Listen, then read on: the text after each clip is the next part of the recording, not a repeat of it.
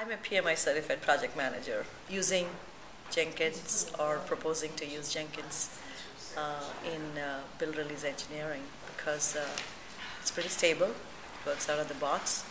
I came to the conference, the energy is fantastic, the community is behind it, so why not use Jenkins? Go for it.